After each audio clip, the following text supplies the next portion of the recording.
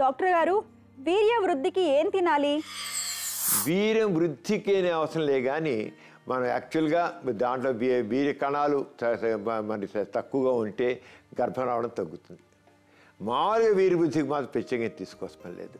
అయితే anti oxidants అంటాం.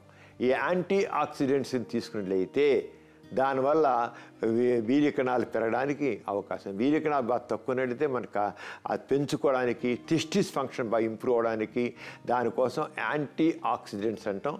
అది తీసుకోవాలి. అలాగే మంచి ఆహారం పళ్ళు పాలు గుడ్లు మాంసం నట్స్ మనం అయితే బాదం పప్పు బాదం పప్పు ఈ జీడిపప్పు అది కిస్మిస్ ఇలాంటివన్నీ ద్రాక్ష ఇవన్నీ కూడా కొంత తీసుకోవాలన్నమాట. తీసుకునడితే అవన్నీ దాటన్నిటిలో యాంటీ ఆక్సిడెంట్ ఫ్రూట్స్లో యాంటీ ఆక్సిడెంట్స్ అంటాం. ఈ యాంటీ ఆక్సిడెంట్స్ ఉండి అవి వీర్య వృద్ధికి వీర్య వృద్ధి అంటే దాని ముఖ్యంగా వీర్య ఉత్పత్తికే అవి తోడ్పడతాయి వీర్య ఉత్పత్తి మనకు అవసరం. వీర్యం అనేది ఆటోమేటిక్ ఎట్లా ఉంటుంది? ఆ ద్రవం ఎట్లా తయారవుతుంది. కానీ ఆ ద్రవం కాదు ముఖ్యం మనకి.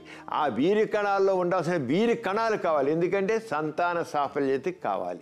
అంచేత ఎవరికైనా తొక్కుంటే మంచి ప- పళ్ళు తీసుకోవాలి పాలు తాగాలి గుడ్లు తినాలి మాంసం తినాలి నట్స్ రకరకాల నట్స్ ఉంటే ఆ నట్స్ తీసుకుంటే అది అవుతుంది.